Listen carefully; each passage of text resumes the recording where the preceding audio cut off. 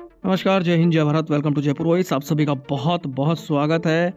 मध्य प्रदेश के मुख्यमंत्री शिवराज सिंह को अपशब्द बोलने के मामले में गिरफ़्तार किए गए ओकेंद्र राणा, जिनको कोर्ट द्वारा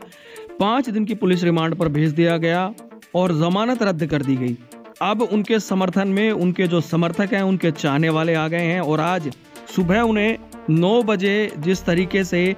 ओकेंद्र राणा को रिहा करो जस्टिस फॉर ओकेंद्र राणा के नाम से ट्विटर ट्रेंड चलाया है। ओकेंद्र राणा के समर्थन में ट्विटर पे ये जो ट्रेंड करवाया गया है, उनके जो समर्थक हैं, वो लगातार मांग कर रहे हैं कि उनको जो गिरफ़्तार किया गया है, उनको रिहा किया जाए और खुद जीवन सिंह शेरपुर ने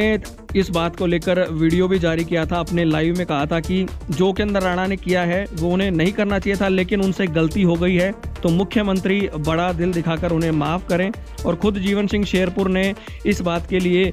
उपेंद्र राणा की तरफ़ से खुद माफ़ी मांगी थी कि उसकी तरफ़ से मैं माफ़ी माँगता हूँ, अगर जो भी बोला है, और उन्होंने मुख्यमंत्री से अपील करी थी कि वो उन्हें माफ़ करें। लेकिन अब कहीं ना कहीं जो कार्रवाई हो रही है और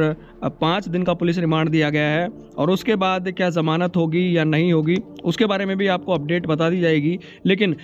फ़िलहाल आज जिस तरीके से ओकेंद्र राणा के समर्थन में ट्विटर पे ट्रेंड करवाया गया है,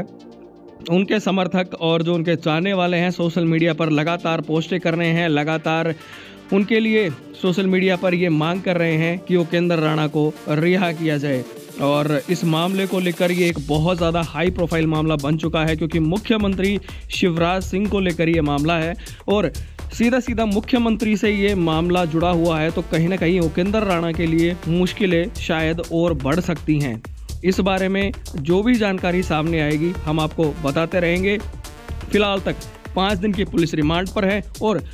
उसके बाद में कोर्ट में उनकी ज़मानत लगाई जाएगी और उसके बाद में पुलिस का क्या पक्ष होता है और जो उनके जो पक्षकार वकील हैं, उनका क्या पक्ष होता है और कोर्ट का क्या फैसला होता है, हर एक बात पर हमारी नज़र है और हम आप तक हर खबर इस केस को लेकर और बाकी अन्य खबरें भी आप तक पहुंचाते रहेंगे। चैनल के साथ जुड़े रहें। जय हिंद, जय भारत।